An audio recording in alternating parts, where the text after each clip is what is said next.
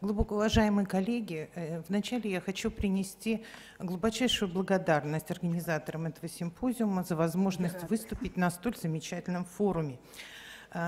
Сегодня мы прослушали несколько докладов, посвященных теме грудного вскармливания. И при тех или иных спорах о времени коррекции, времени введения прикормов или расчетов каких-то формул э, для правил для э, оценки прибавки массы тела, в одном мы убеждены все однозначно, что грудное молоко является самым полезным продуктом для вскармливания детей первого года жизни. И чудо грудного вскармливания повторить невозможно невозможно.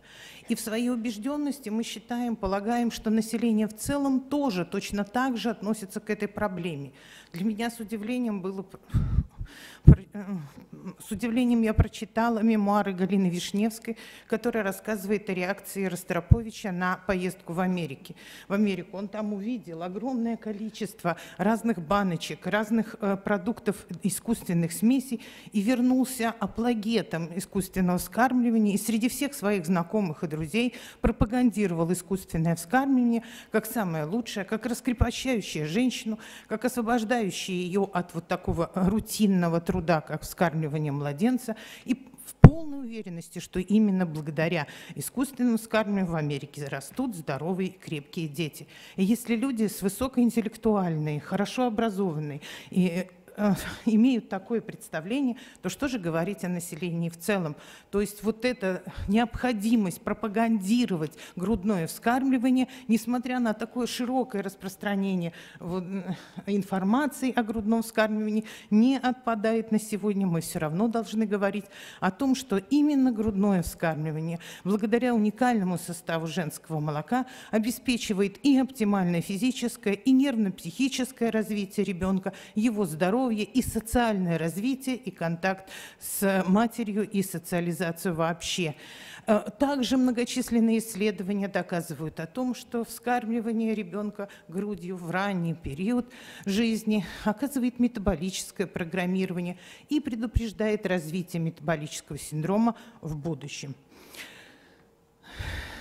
Отсутствие грудного молока всегда требовало определения экстренных мер по ликвидации последствий этого э, события. Э, раньше э, в семьях с высоким уровнем достатка использовали кормилицу. Это, этот вариант тоже имел свои проблемы, поскольку состояние здоровья кормилицы, ее образ жизни и питания не могли негативно сказываться на состоянии здоровья ребенка.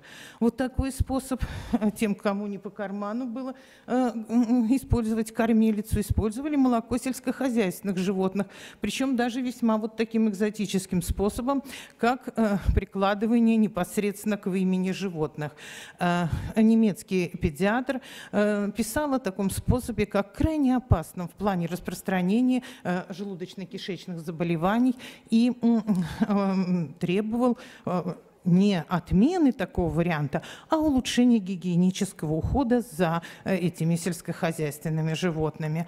Э, в России, в России использовали жовку, так называемую, это э, тряпочку, в которую, значит, мать нажевывала картошку, хлеб, значит, э, кашу. И э, в то время, когда она шла работать в поле, ребенок лежал дома и жевал эту тряпку. И надо сказать, что это не такое глубокое прошлое. Моя бабушка Ольга Николаевна сама рассказывала мне, как жевала картошку, засовывала ее в эту тряпочку и таким образом выкормила пять мужчин у которых было хорошее здоровье, и они вынесли все тяготы Великой Отечественной войны и вернулись оттуда живыми. Но, тем не менее, была еще одна очень интересная форма вскармливания. Когда покупали на рынке отрезанный сосок э, коровьей, э, нацепляли его на коровий рог, в этот рог засовывали вот эту жовку, и ребенок вот это малогигиеничное, гниющее э, произведение высасывал в течение нескольких дней. И вот этот плакат 24 года показывает реально, что соски и жвачки погубили больше крестьянских детей, чем пули солдат.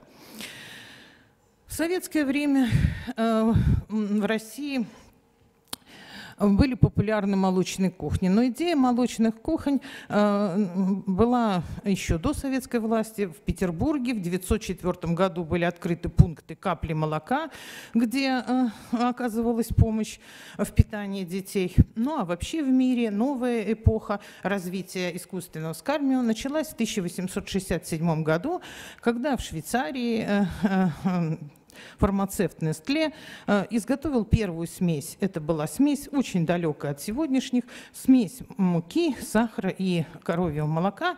Но были описаны случаи успешного выкармливания, в том числе недоношенных детей с помощью этой смеси. И вот с тех пор как раз э, производятся э, разли, различные смеси для детского питания. В голодные советские годы очень популярно было обогащать э, молочные смеси белком. Посмотрите, козоль, плазмон, никто и не помнит теперь таких названий, а это были смеси, да, где э, было крайне э, усиленное содержание белка, и это главной задачей было накормить, поднять физическое развитие детей в эти годы. Сухие смеси и производство детского питания в нашей стране активно начало развиваться с 50-х годов. Но как нельзя сравнить э, искусственное вскармливание и естественное вскармливание, так и смеси, как бы они хорошо не были приближены к грудному молоку, а грудное молоко именно является эталоном, к которому должны стремиться, назначая или выбирая те или иные смеси, а отменить их, то есть сравнить их невозможно. Как вот эти две картины, это художественные произведения, оба написаны маслом. Одно из них э, мать смотрит на ребенка, психологический контакт, контакт матери и ребенка, да, и грудное вскармливание. А вторая картина называется «Современные матонны». Это, значит, а, американский художник э, нарисовал мать с ребенком. Обратите внимание, все не так. Мать смотрит не на ребенка, а на гаджет, который она держит в руках. Ребенок смотрит не на мать, а впился в бутылочку. Да, э, значит, и э, в качестве нимба над головой матери электрическое освещение. Вот они, современные Мадонна. Не только объективные причины, состояние здоровья заставляют женщин не кормить грудью, но и целый ряд социальных причин. И наша задача действительно пропагандировать грудное вскармливание, чтобы вот такие причины встречались все меньше и меньше. Этапы адаптации молочных смесей, вернее, направления, по которым можно приблизить а, молочную смесь для вскармливания детей к грудному молоку, они касаются практически каждого компонента э, женского молока. Адаптация белкового компонента смеси сегодня выглядит совершенно иначе, чем раньше. Доказано, что высокое содержание белка в питании детей раннего возраста оказывает метаболическое программирование и приводит к формированию ожирения и метаболического синдрома, в более старшем возрасте. Поэтому сегодня происходит снижение уровня белка в смесях, обогащение смеси сывороточными белками, коррекция аминокислотного состава, добавление нуклеотидов. Адаптация жирового компонента смеси долгое время происходила за счет обогащения жирами растительного происхождения, которые являются источником полинасыщенных жирных кислот, адаптация углеводного компонента с целью улучшения микрофлоры кишечника и э, развития бифидофлоры, адаптация витаминного, макроэлементного состава, обогащение биологически активными веществами, витаминоподобными веществами, пребиотиками. А, в последние годы особенно актуальным является а, модификация жирового состава детских смесей. А, это связано с тем, что жиры выполняют функции младенцев, чрезвычайно важную функцию. С жировой составляющей ребенок первого года получает 50% всей энергии и кроме этого, э, жиры входят в состав всех клеточных мембран, участвуют в терморегуляции, механической защите органов, в запасе энергии воды и э, контролируют обмен веществ организма. Жир в грудном молоке, как уже говорилось, был недавно симпозиум, проходил специально по жировому компоненту смеси. Жир грудного молока содержит глобулы специальные. И в это, эти глобулы меньше по размерам, чем глобулы э, коровьего молока молока. Э, и э, хочу подчеркнуть, и сегодня уже говорилось об этом, что в заднем молоке концентрация жира в 4-5 раз выше, чем в переднем. Это действует как регулятор насыщения. И дети, которых кормят сначала из одной груди, потом другой, он не получает заднее молоко, у них хуже формируется правильное пищевое поведение. В каком контексте? Правильное пищевое поведение – это то, который, э, это принятие пищи только когда голоден. То есть человек должен ощущать чувство голода и принимать пищу только когда голоден, а не тогда, когда она красиво выглядит, хорошо пахнет или просто за компанию. Ну вот, и если ребенок не высасывает вот это э, заднее молоко, которое помогает ему ощутить чувство сытости, у него вот это нарушение пищевого поведения происходит м, достаточно чаще чем у детей, которые вскармливаются правильно. Э, как видно на данной диаграмме, э, молочный жир составляет практически одну треть э, состава грудного молока и э, является источником короткоцепочных жирных кислот, что очень важно подчеркнуть, поскольку бутират является энергетическим субстратом для колоноцитов, и состояние кишечного эпителия, иммунной системы желудочно-кишечного тракта будет зависеть от того, насколько э, э, достаточно э, содержится этих короткоцепочных жирных кислот э, в организме. Пропионат является регулятором метаболических процессов и липидного обмена, обмена в печени, что также очень важно в плане метаболического программирования, а ацетат является энергетическим субстратом для мышц, почек, сердца и мозга. Кроме короткоцепочных жирных кислот, жиры содержат еще функциональные липиды, такие как ганглиозиды, фосфолипиды и холестерол. Их роль в последние годы тоже чрезвычайно а, активно изучается, особенно фосфолипиды, которые входят в состав всех клеточных мембран. Кроме этого, фосфодиетин Метилхолин участвует и в пищеварении. Он эмульгирует пищевые жиры, повышает усвояемость жирорастворимых витаминов А, Д и Е в пищеварительном тракте. Дефицит лецитина, дефицит фосфолипидов приводит к внутричерепной гипертензии, к задержке речевого развития, задержке психомоторного развития, психоэмоциональной неуравновешенности, снижении способности к концентрации внимания, нарушении памяти э, и эм, Кроме того, даже нарушение двигательной активности, усталость, повышенная утомляемость и так далее. Важную роль в последние годы э, играют, доказано, что играют ганглиозиды. Ганглиозиды в 15 раз их содержание выше в головном мозге, чем во всех остальных других тканях организма.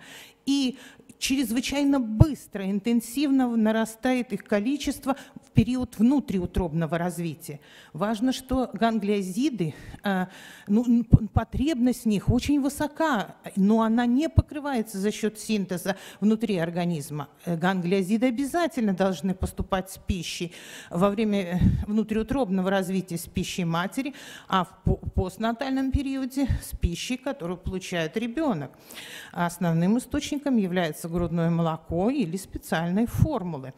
И вот э, данные аутопсии детей, которые умерли от синдрома внезапной смерти, показывают, что содержание ганглиозидов в мозге у детей, которые находились на естественном скармливании, почти в 30 раз выше, чем у детей то есть на 32% выше, чем у детей, которые э, скармливались э, э, с помощью искусственных смесей. Э, были проведены целый, было проведено целый ряд наблюдений о том, что э, вот, э, перинатальный дефицит э, ганглиозидов в питании ребенка оказывает влияние не только на нервно-психическое развитие младенца на первом году жизни, но и в более взрослом и даже в пожилом возрасте в экспериментальных моделях у грызунов показано, что процессы запоминания, долговременной памяти, э, э, моторной активности гораздо хуже, чем у тех, кто получал ганглиозиды. Кроме того, ряд экспериментальных экспериментальных моделей на животных с распадом центральной нервной системы посттравматическим, или клинические исследования, проведенные больше, чем у двух тысяч детей с детским церебральным параличом, сказали, что назначение, показали, что назначение ганглиозидов помогает э, улучшить негативные э, симптомы со стороны центральной нервной системы, наблюдающиеся в этих э, клинических ситуациях. И причем наиболее выраженный эффект наблюдался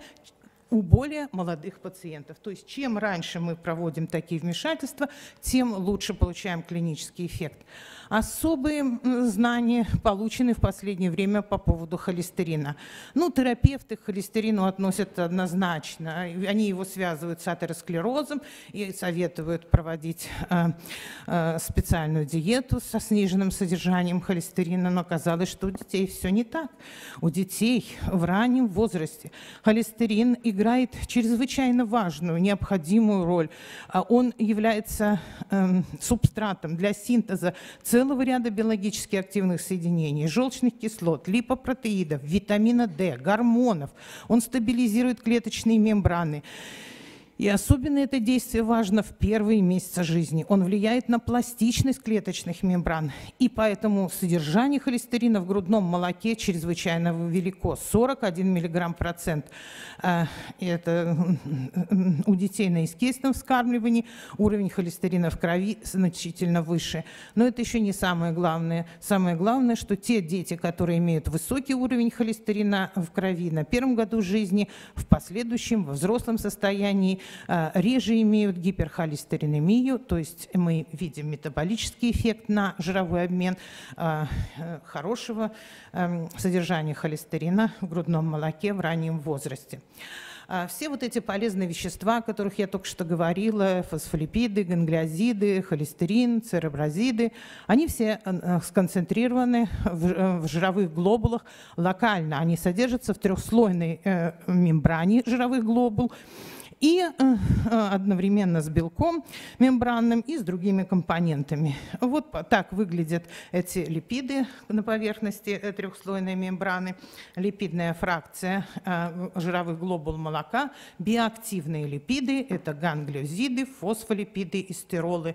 Они связаны с развитием мозга, когнитивного развития, а также с, с развитием иммунной системы. И добавление мембран жировых глобул глобул молока э, в питательной смеси, она увеличивает содержание вот этих необходимых активных э, элементов для развития э, мозга. Посмотрите, вот на данном слайде представлена стандартная молочная смесь, которая содержит молочный жир добавленный, и смесь с компонентами мембран жировых глобул. И вы видите, что и содержание и холестерина, и фосфолипидов в этой смеси значительно больше. Обратите, пожалуйста, внимание, здесь представлены как раз этапы адаптации жирового компонента молочных смесей в историческом аспекте. Если классические смеси содержат э, э, имеют частичную или полную замену жиромолока на природные растительные масла, масла, то э, следующим этапом в сторону улучшения это добавка молочного жира, который также содержит вот эти полезные вещества мембран жировых глобул. И э, более высокая ступень – это добавление только компонентов мембран жировых глобул плюс молочного жира. Почему это так важно? Дело все в том, что добавление концентрированных вот этих полезных элементов для развития центральной нервной системы позволяет снизить энергетическую нагрузку за счет содержания триглицеридов, которые содержатся в молочном жире, а это чрезвычайно важно для когнитивного развития. Вот на этой схеме э, хорошо показано, как влияет энерги... избыточный энергетический обмен на познание. Русская пословица что гласит? «Сытое брюхо к учению глухо». Так оно и есть. Избыток энергии, который производится в митохондриях, влияет на активный хроматин, переводя его в неактивный и регулируя экспрессию генов, оказывая гепигенетическую регуляцию на познание, а нормальное, адекватное содержание энергии, особенно с двигательной активностью, которая компенсирует значит, избыток поступления, то есть э, сбалансированное состояние между поступлением энергии и двигательной активностью вызывает продукцию э, э, медиаторов, таких как мозговой нейротрофический фактор, инсулиноподобный фактор роста, они влияют на синаптическую пластичность, улучшают познание. Избыток энергии приводит к развитию перекисного окисления липидов, нарушению гомеостаза. Кроме э, э, фосфолипидов, холестерина э, и ганглезидов, на центральную нервную систему из жирового компонента влияет хорошо всем известные омега-3 и омега-6 полинасыщенные жирные кислоты. Вот это и знают и все врачи, и знает население, что они влияют на структуру клеточных мембран, на ее текучесть, гибкость, проницаемость. Также их деятельность ассоциирована с мембранами ферментов, рецепторов. Они участвуют в активации пищеварения, созревании клеток кишечника и в созревании иммунных клеток. Очень интересно, что даже антенатальный дефицит омега-3, омега-6 жирных кислот приводит к тому, что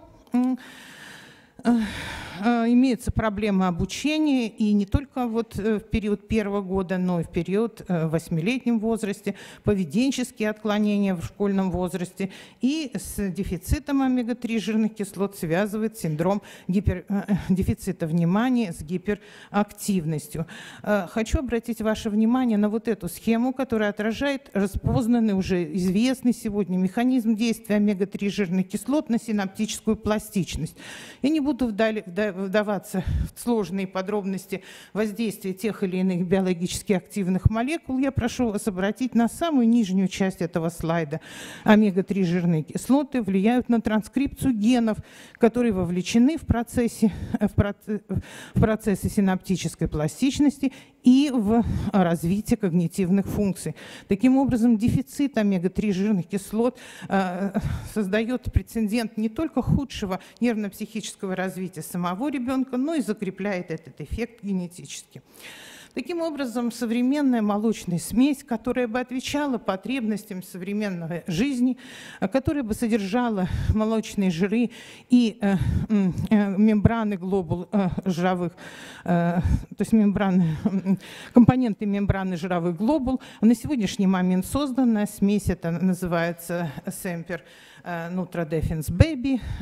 И помимо улучшенного содержания жиров, она содержит и другие модифицированные компоненты. Это альфа-лактамин Альбумин – основной белок, который входит в состав грудного молока, оказывающий положительное влияние на формирование микрофлоры кишечника, хорошо усваивающийся. Галактоолисахариды – это пребиотические компоненты этих смесей.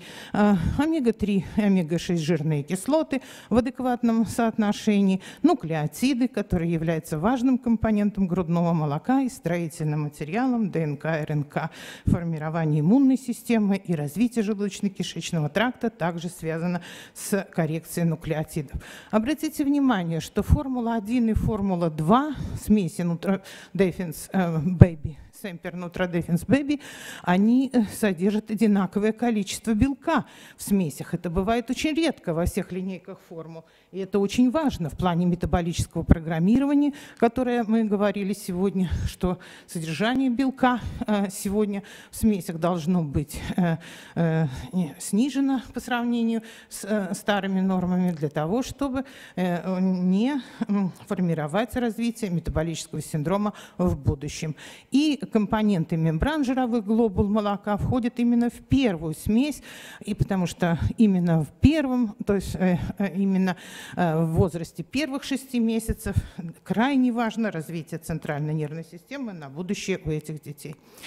Э, результаты клинических испытаний использования этих смесей, они проводились 6 лет, эти клинические наблюдения, показали, что и показатели физического развития детей, получавших такую смесь, приближены к показателям детей на грудном вскармливании, и э, развитие э, центральной нервной системы, когнитивное развитие э, э, у детей также приближалось к показателям на грудном вскармливании и частота встречаемости инфекционных заболеваний, в частности острого среднего отита, и э, за счет чего? За счет влияния на спектр иммуноглобулинов, которые продуцируются на фоне приема этой смеси, также показала ее клиническую хорошую эффективность. В заключение хотелось бы остановиться еще на одном очень важном аспекте, который обсуждался на прошлом симпозиуме, посвященном жирам, о том, что модификация жирового компонента э, э, должна учитывать, что эффективность усвоения жира зависит не только от размеров жировой глобулы и жирно-кислотного состава жира, но и расположения жирных кислот в молекулах глицерола. Об этом сейчас много говорят, врачи часто спрашивают. Так вот, э, получены интересные данные, что если в грудном молоке содержится в основном бета-пальмитат, 70%, правильная позиция, улучшающая усвояемость жиров.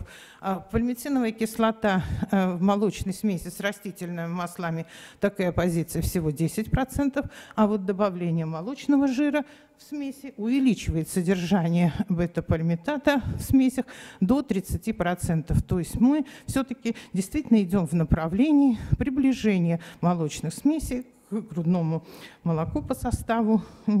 Говорится, невозможно возможно.